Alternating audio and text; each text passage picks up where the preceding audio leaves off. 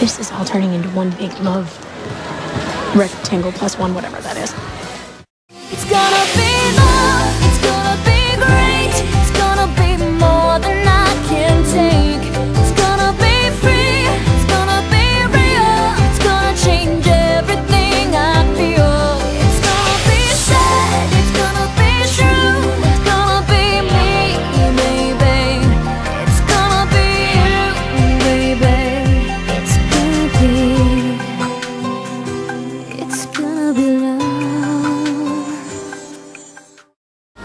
do some damage.